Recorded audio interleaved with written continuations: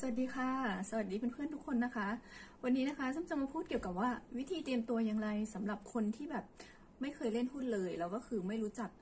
การเล่นหุ้นเลย แต่อยากเริ่มอะต้องทำยังไง อยากซื้อหุ้นขั้นตอนแรกนะคะ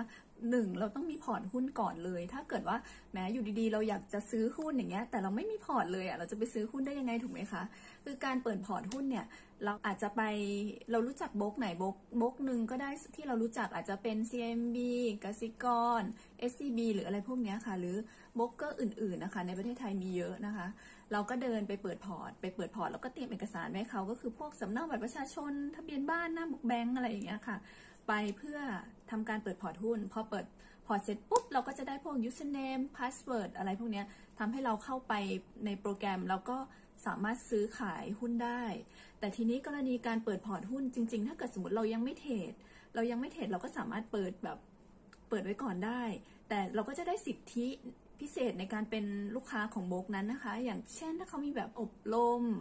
มีการสอนกราฟอย่างเงี้ยค่ะ เราก็สามารถเข้าไปอบรมฟรีได้ คือช่วงตลาดเปิดเราสามารถซื้อขายได้ตลอดเลยค่ะ คือผ่านมือถือเครื่องเดียว มันจะมีโปรแกรมที่เรียกว่าโปรแกรมสตรีมมิ่งอะค่ะ มันสามารถโหลดได้ทั้ง App Store แล้วก็ Play Store นะคะ สามารถไปโหลดได้เลย แล้วก็คือเมื่อเราเปิดพอร์ตเสร็จเราก็จะได้พวก username password เราก็เอาพวก username password เนี่ย ไปล็อกอินเข้ากับโปรแกรม streaming ได้เลยนะคะ เดี๋ยวส้มเปิดให้ดูนะคะว่าหน้าตาจะเป็นแบบไหน รแกรม streaming นะคะ มันจะเป็นไอคอนแท็บสีฟ้าๆนะคะ อ่า มันจะเป็นคล้ายๆแบบนี้นะคะ อ่า อันนี้นะคะ เมื่อเมื่อเรากดเข้าไปเสร็จปุ๊บ มันก็จะเป็นหน้าจอแบบนี้ เห็นไหมคะ แล้วก็มันก็จะมี มันก็จะมีหน้า buy sell หน้า portfolio อะไรให้เราดูนะคะ จะมีเมนูให้เราเข้าไปเล่นดูอย่างเงี้ยค่ะ เราก็สามารถเข้าไปดูความเคลื่อนไหวของหุ้นได้ แบบ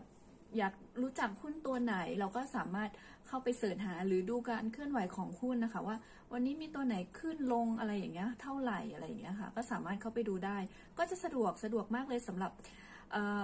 สมัยนี้นะคะเพราะเพราะว่าเด็กใหม่ ๆ ที่มาเปิดพอร์ตช่วงนี้ก็คือเขาก็จะแบบซื้อขายเอง อาจจะไม่ได้แบบผ่าน marketing แต่ถ้าถ้าเป็นสมัยก่อนเนี่ยเป็นลูกค้าที่เป็นผู้ใหญ่นิดนึงเขาแบบ อาจจะไม่มีเวลาดูหรืออาจจะดูไม่เป็น ซื้อขายเองไม่เป็นเขาก็จะโทรหา marketingเพื่อให้ marketing อะช่วยซื้อขายให้ แต่เดี๋ยวนี้มันก็สะดวกอะค่ะสำหรับแบบเด็กยุคใหม่นะคะ ก็คือ หรือคนช่วงวัยทำงานเนี่ยค่ะเขาก็สามารถซื้อขายหุ้นได้เอง โดยผ่านมือถือหรือโปรแกรมสตรีมมิ่งนะคะแล้วถ้าเราอยากซื้อหุ้นเราก็สิ่งที่สำคัญที่สุดก็คือ เราต้องรู้จักชื่อหุ้นนะคะ ถ้าเราไม่รู้จักชื่อหุ้น ไม่รู้จักบริษัทเนี่ยไม่ได้เลยคือ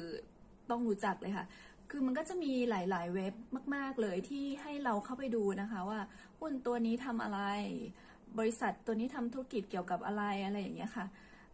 อย่างเช่นพวกเว็บเซตนะคะ set.or.th นะคะ เว็บนี้ก็จะเข้าไปดูได้ทั้งงบการเงิน การจ่ายปันผล แล้วก็จะมีหุ้นใน SET50 SET ร้อย sSET อะไรพวกนี้ค่ะ ให้เราเข้าไป ดูได้แล้วก็ไปวิเคราะห์หาข้อมูลต่างๆ เอามาประกอบการตัดสินใจของเราได้ นักลงทุนมือใหม่ซึ่งก็อยากให้เข้าไปศึกษาหาความรู้ก่อนนะคะ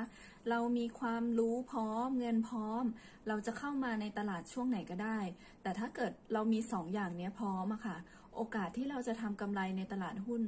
ได้ค่อนข้างสูงสิ่งที่สำคัญในการเล่นหุ้นเลยจริง ๆ ก็คือจังหวะในการลงทุน ถ้าเกิดเราซื้อหุ้นถูกจังหวะ ได้ราคาที่ถูกอะไรอย่างเงี้ยค่ะ เราก็สามารถทำกำไรได้ค่อนข้างเยอะ คือตลาดหุ้นเป็นตลาดที่สามารถหาเงินได้ค่อนข้างเร็วนะคะ จากตลาดหุ้น แต่ก็การลงทุนยังไงมันก็จะมีความเสี่ยงนะคะ มันจะไม่เหมือนกับการฝากเงินที่ความเสี่ยงอาจจะ